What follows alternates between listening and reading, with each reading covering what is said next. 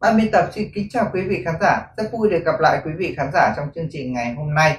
Bản tin cập nhật những tin tức nóng nhất, mới nhất về tình hình kinh tế, chính trị, xã hội trong nước cũng như quốc tế. Sau đây xin mời quý vị và các bạn cùng theo dõi. Kính thưa quý vị khán giả, hai con đập thành phố Hô Lân Bố Nhĩ của khu tự trị Nội Mông miền Bắc Trung Quốc đã bị vỡ sau mưa lớn. Tại thành phố này, 16.660 người đã bị ảnh hưởng và 21.774 hecta đất trồng trọt bị ngập lụt. Ngày 25 tháng 7, Bộ Thủy lợi Trung Quốc cho hay hai con đập ở khu tự trị Nội Mông ở Tây Bắc nước này đã bị vỡ sau mưa lớn. Vụ việc này đã nêu bật các rủi ro về an toàn đến từ những cơ sở hạ tầng cũ kỹ trong mùa lũ.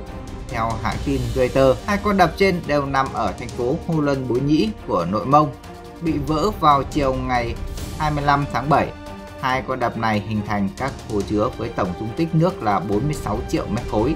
Bộ Thủy lợi Trung Quốc cho biết các dân sống ở khu vực phía dưới hai con đập đã được sơ tán và đến nay chưa rõ số người thương vong. Video được chia sẻ trên mạng xã hội Trung Quốc cho thấy cảnh một trong hai con đập này bị nước cuốn đi hoàn toàn, khiến cho cánh đồng gần đó bị nước lũ nhấn chìm.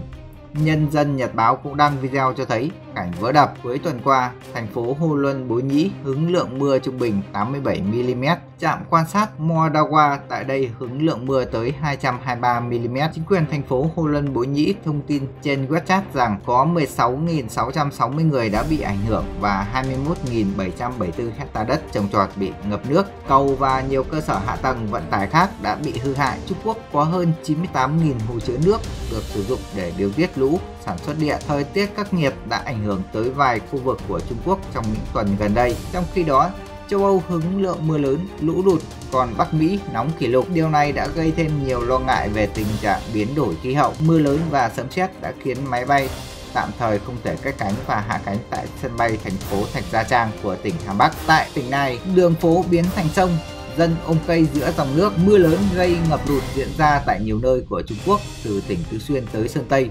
Hà Bắc hôm 25 tháng 7, Đài khí tượng Trung ương Trung Quốc dự báo sẽ tiếp tục có mưa lớn trên một khu vực rộng với ở miền Bắc và miền Trung nước này. Tại thành phố Vũ An thuộc tỉnh Hà Bắc, theo báo Đô thị phương Nam, một người dân họ nhiếp chia sẻ với phóng viên hôm 25 tháng 7. Trước mắt mưa vẫn rất lớn, đường phố đã bị nước mưa làm ngập lụt, biến thành sông luôn rồi. Video được chia sẻ cho thấy cảnh ngập nước nghiêm trọng tại đây. Xe cộ bị dòng nước cuốn trôi, người già bị kẹt lại trên đường và cảnh người dân ôm cây để cứu mình giữa dòng nước chảy xiết. Mưa lớn và sấm sét ở Hà Bắc cũng khiến nhiều máy bay tạm thời không thể cất cánh và hạ cánh tại sân bay của thành phố Thạch Gia Trang, thủ phủ của tỉnh này. Tại thành phố Hãn Châu thuộc tỉnh Sơn Tây, nhiều hình ảnh được truyền thông Trung Quốc đăng tải cho thấy cảnh ô tô di chuyển qua những con đường bị ngập nước. Thành phố Tấn Thành thuộc Sơn Tây đã nâng mức báo động mưa lớn lên màu đỏ, tức cấp cao nhất trong khi đó, Đài quan sát khí tượng Bắc Kinh dự báo lượng mưa tại Bắc Kinh nằm gần tỉnh Hà Bắc sẽ đạt trung bình từ 60 đến 100 mm từ 17 giờ chiều ngày 25 tháng 7 tới 8 giờ ngày 26 tháng 7. Cơ quan kiểm soát lũ lụt của Bắc Kinh còn cảnh báo thành phố này sẽ có mưa lớn nhất trong vòng 3 năm qua. Thông thường, Bắc Kinh ghi nhận lượng mưa khoảng 600 mm mỗi năm. Thời báo Hoàn Cầu đưa tin Bắc Kinh đã đóng cửa nhiều điểm du lịch và phát cảnh báo khẩn cấp tới người dân khi thành phố này được dự báo sẽ hứng trận mưa có thể kéo dài 30 giờ, bắt đầu từ chiều ngày 24 tháng 7. Hơn 70.000 người bị ảnh hưởng khi mưa lớn gây ngập lụt ở thành phố Ba Trung, tỉnh Tứ Xuyên. Video được truyền thông Trung Quốc đăng tải cho thấy cảnh tàu thuyền bị dòng lũ, nước lũ cuốn đi. Đài truyền hình Trung ương Trung Quốc CCTV đưa tin từ ngày 20 tháng 7 cho đến ngày 25 tháng 7 Mưa lớn diễn ra ở thành phố Ba Trung, tỉnh Tứ Xuyên, Tây Nam Trung Quốc. Nhiều video và hình ảnh được đăng tải cho thấy cảnh nhà cửa và ô tô bị ngập nước do ảnh hưởng của mưa lớn và nước dâng cao ở thượng lưu. Hơn 10 tàu thuyền gồm tàu cao tốc và tàu du lịch đã bị dòng nước lũ cuốn trôi khi các tàu này neo đậu trên một đoạn sông ở thị trấn Tam Giang của thành phố Ba Trung. Trong khi đó, thị trấn Hưởng Than thuộc huyện Bình Dương bị ngập lụt nghiêm trọng. Nước lũ đã phá hủy tay vịn trên cầu Hưởng Than và mực nước tại đây đã đạt tới mức cao nhất trong 10 năm vừa qua. Lực lượng cứu hộ đã tìm cách đưa những người dân bị mắc kẹt ở vùng trũng thấp tới nơi an toàn. Tại thị trấn Tân Trường thuộc huyện Thông Thang, mưa lớn liên tục đã gây ra sạt lở đất đá và mực nước sông tăng lên từ 8 giờ sáng ngày 20 tháng 7 tới 16 giờ chiều ngày 20 tháng 7 tại thành phố Ba Trung, lượng mưa là 216mm, Trạm đo đã vượt 50mm, 144 trạm vượt 100mm, 11 trạm vượt 200mm. Lượng mưa lớn nhất được ghi nhận tại thị trấn Vĩnh An thuộc huyện Thông Giang với 257,1mm. Theo cơ quan chỉ huy phòng chống lũ lụt và hạn hán thành phố Ba Trung, tính tới 20 giờ tối ngày 25 tháng 7, có 67 thị trấn tại nhiều huyện bị ảnh hưởng. Mưa lớn đã gây ra ngập lụt, ảnh hưởng tới 71.879 người và gây ra tổn thất kinh tế trực tiếp lên tới 108,9 triệu nhân dân tệ, khoảng 386 tỷ đồng. Kính thưa quý vị, quân đội Trung Quốc đã cho nổ một con đập để xả nước lũ khi nó đe dọa một trong những tỉnh đông dân nhất của mình. Sự việc diễn ra trong bối cảnh số người chết trong trận lũ lụt tăng lên ít nhất 25 người. Số người chết tiếp tục tăng, Trung Quốc cho nổ đập để phân lũ Việc cho nổ một con đập diễn ra vào đêm 24 tháng 7 tại thành phố Lạc Dương, ngay khi lũ nghiêm trọng tràn ngập thủ phủ Trịnh Châu của tỉnh Hà Nam, khiến nhiều người dân mắc kẹt trong hệ thống tàu điện ngầm, các trường học, căn hộ và văn phòng trong một cuộc họp báo. Các quan chức tỉnh cho biết thêm 7 người khác bị mất tích, giao thông và các công việc đã bị gián đoạn trên toàn tỉnh. Mưa lớn biến đường phố thành sông chảy xiết, cuốn trôi xe ô tô tràn vào nhà dân.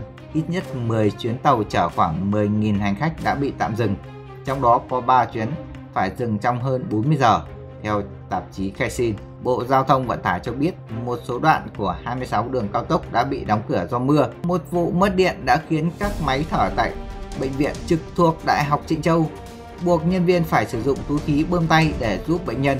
Hơn 600 bệnh nhân ở đây đang được chuyển viện trong khi đó. Bão Talim đã suy yếu nhẹ vào sáng ngày 24 tháng 7 trên vùng biển Tây Bắc Thái Bình Dương khi nó ảnh hưởng tới các khu vực của Nhật Bản. Dự kiến cơn bão này sẽ mạnh lên và có khả năng tấn công Đài Loan và các khu vực của Trung Quốc vào cuối tuần này trong những ngày gần đây.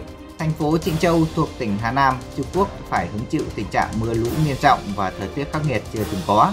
Vì vậy mà sự quan tâm của dư luận nước này hầu hết đều đang tập trung vào tình hình tại đây.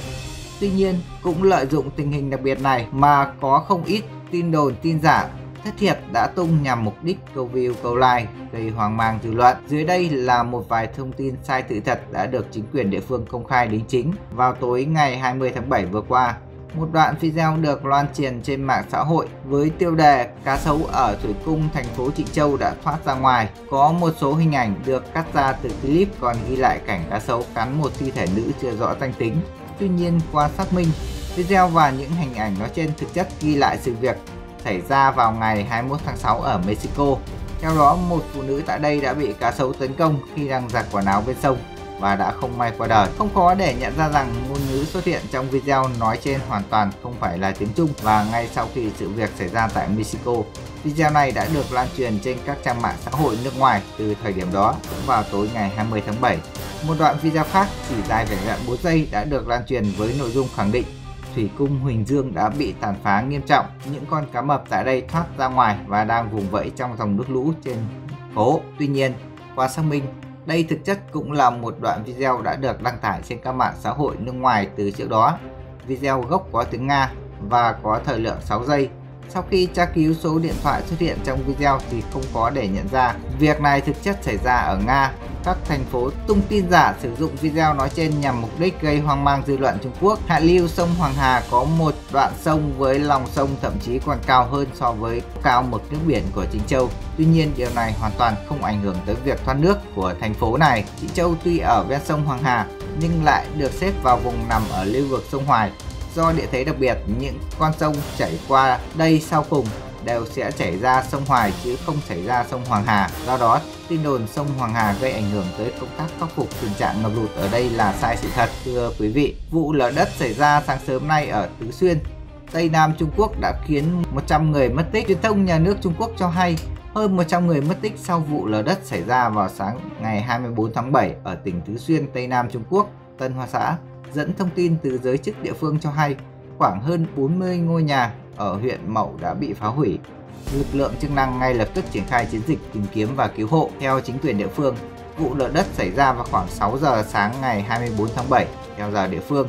Mưa lớn khiến đất đá từ một ngọn núi đổ ập xuống làng Tân Ma. Những bức ảnh đăng trên tài khoản Tiger của báo People Daily cho thấy các xe ủi đất đang di chuyển những tảng đá rất lớn nỗ lực giải cứu người bị nạn. Vụ lở đất xảy ra ở khu vực miền núi nằm gần sông Dân, được biết đến với những thành trì đá cổ, những khu rừng rậm rạp, những dòng suối và thung lũng. Lở đất là mối đe dọa thường trực đối với những miền nông thôn và vùng núi ở Trung Quốc. Đặc biệt trong thời kỳ mưa lớn, đây không phải là vụ sạt lở đất nghiêm trọng đầu tiên xảy ra ở Trung Quốc trong năm nay. Ngày 22 tháng 6, 12 người thiệt mạng khi 3.000 mét khối đất đá ập xuống sườn dốc phía sau một khách sạn 3 tầng ở tỉnh Hà Bắc. Kiêu Đại Soái, 26 tuổi, nhà ở Dìa Làng Tân Ma, huyện Mậu, tỉnh Tứ Xuyên. Vợ anh là Tiêu Yến Xuân mới sinh con nhỏ. Cậu bé Kiều Đại Thuần hôm 24 tháng 7 được 38 ngày tuổi. Khoảng 5 giờ 40, Đại soái và vợ nghe tiếng con trai khóc bèn tỉnh dậy kiểm tra và thay tã cho bé. Anh bỗng thấy tiếng động lạ ngoài nhà. Tôi nghe tiếng nhà sập, đại soái nhớ lại, hai vợ chồng lập tức ôm quan chạy ra ngoài nhưng không kịp. Đất đá đổ xuống chôn vùi cả ba người phía dưới. Bé Đạo Thuần được y bác sĩ chăm sóc trong viện. Đại soái và vợ bất tỉnh cho tới khi được nhân viên cứu hộ giải cứu lúc 6 giờ 50. Tới 10 giờ hơn, hai vợ chồng và bé Đạo Thuần mới được tới bệnh viện. Cả ba chỉ bị xây xước không có vấn đề nghiêm trọng. Khoảng 6 giờ ngày 24 tháng 7, một phần của ngọn núi ở Tây Tạng và khu tự trị dân tộc Khương, Tứ Xuyên sạt lở chôn vùi hơn 40 nhà trong làng Tân Ma khiến ít nhất 141 người mất tích. Chính quyền Trung Quốc đã điều động hơn 500 nhân viên cứu hộ và máy bay trực thăng, máy xúc tới hiện trường lở đất. Vâng, bản tin ngày hôm nay của chúng tôi đến đây là kết thúc. Xin kính chào và hẹn gặp lại quý vị trong những bản tin tiếp theo. Bản tin vừa rồi đã kết thúc chương trình của chúng tôi ngày hôm nay. Xin kính chào và hẹn gặp lại quý vị trong những bản tin tiếp theo.